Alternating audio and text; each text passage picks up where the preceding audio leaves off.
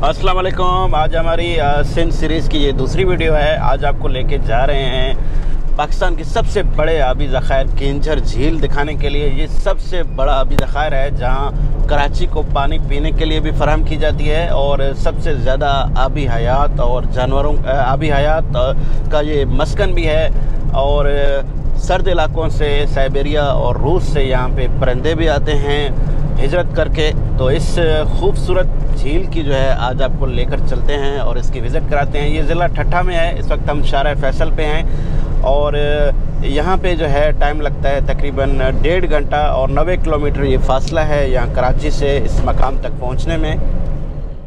किंजर झील एक मशहूर और मकबूल सियाहती मकाम भी है। तातीलत के दिनों में कराची के हज़ारों लोग तफरी के लिए यहाँ जाते हैं। एक अंदाजे के मुताबिक एक हफ़्ते में सत्रह हज़ार लोग जो है इस झील के सैर करने के लिए जाते हैं।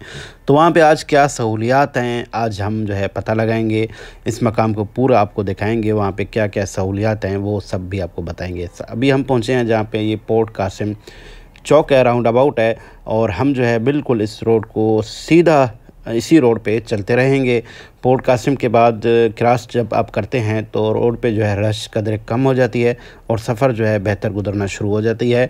और रोड जो है ड्यूल है, बड़ा ज़बरदस्त रोड बनी हुई है। इस रोड पे इतनी रश भी नहीं होती है। तो किंजर झील जाने के लिए कराची से जो है ये रोड बेहतर है। एक रोड सुपर हाईवे से भी जाती है, नूरियाबाद से होकर, लेकिन ये रोड जो है उससे बेहतर है। तो अब हम इन ताला थोड़ी देर में जो है पहुँचेंगे ठट्ठा ठट्ठा से बीस बीस किलोमीटर आगे किंजर झील का मकाम है। अभी जहाँ से हम गुज़र रहे हैं, यहाँ से एक रास्ता उल्टे हाथ की तरफ़ जो है बदीन और सजावल की तरफ़ निकल जाती है। बदीन और सजावल भी ठट्ठा से जो है ना कुछ फासले के ऊपर जो है ये लोकेटेड हैं।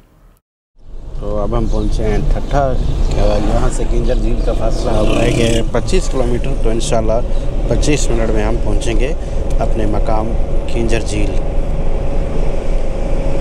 ये पानी जो है, आप देख रहे हैं दोनों तरफ़ तो इसका मतलब झील जो है अब करीब पहुँचने वाली है, सिर्फ़ 10 किलोमीटर का फासला रह गया है। ये बहुत बड़ी झील है, बत्तीस किलोमीटर तवील झील है, पाकिस्तान की सबसे बड़ी झील है।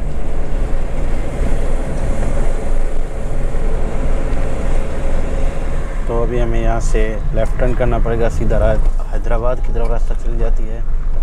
पिंजर ज़िले पर बोर्ड लगा हुआ है। और यहाँ से जो नेशनल हाईवे छोड़ के हम अंदर अब हो रहे हैं लेफ़्ट साइड की तरफ़ यहाँ से हैदराबाद जो है आगे नबे किलोमीटर का फासला है। ठट्टा के बाद जो है ये रोड पर भी आखिरी जो 20 किलोमीटर है वो सिंगल रोड हो जाती है। लेकिन वो रोड भी ठीक है इतना बुरी रोड नहीं है। ये जो है झील का मेन पार्किंग एरिया है। और इस तरफ़ एक रेस्टोरेंट है और इस तरफ़ नीचे जो है कुछ कश्तियाँ हैं और फिर झील मरकज़ी झील है। झील का जो अहाता है, पार्क है, वो बड़ा ही खूबसूरत है। सिर्फ़ बैठने के लिए बड़ी खूबसूरत जो है हट्स बनाए गए हैं। और इसके अलावा जो है, बाग बाग भी है यहाँ पे, लॉन भी है, झूले भी लगे हुए हैं। सबसे पहले जो है आपको ले चलते हैं मरकज़ी झील दिखाते हैं, उसके बाद ड्रोन व्यू लेंगे और इस झील का कुछ जो है आपको मालूम देंगे।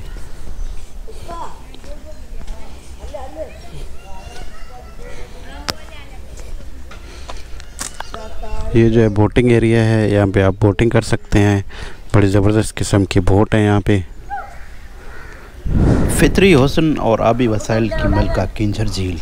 पाकिस्तान की सबसे बड़ी मसनू झील भी समझी जाती है, जो मुल्क के सबसे बड़े शहर को पानी और सनती इस्तेमाल के लिए, का पानी फराम करने का बड़ा ज़रिया भी है। किंजर झील पाकिस्तान के मुआशी और सनती मरकज़ कराची और ठटा शहर को पानी फराम करने का सबसे बड़ा ज़रिया है।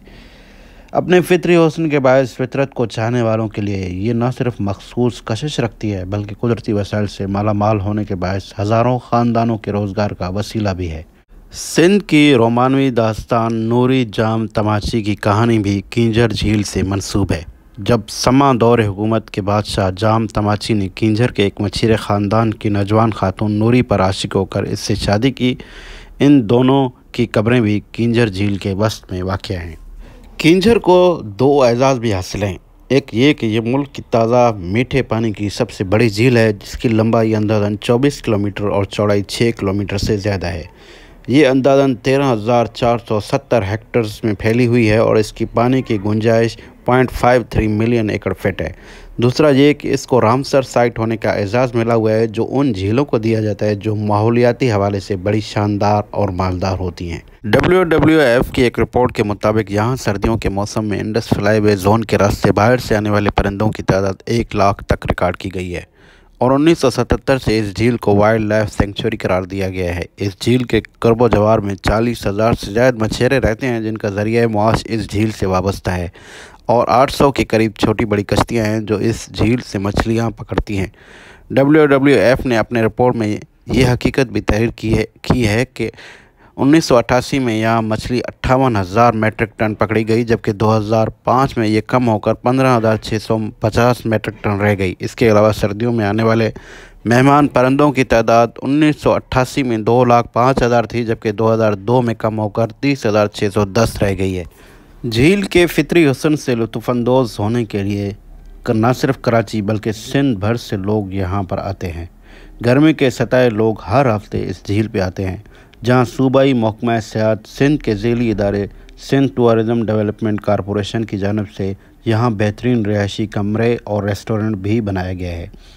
झील के कुर्ब जवार में रहने वाले हज़ारों मच्छरों के रोज़गार का वाद ज़रिया भी केंजर झील है, जहाँ ये मछलियाँ पकड़ कर रोज़गार कमाते हैं। इसके अलावा झील में उगने वाले सरकंडे सरकंडों को काट कर इसकी चटाई और झोंपड़ियों की छतें बनाने वाले हज़ारों ख़ानदान की रोज़ी रोटी का ज़रिया भी किंजर झील ही है।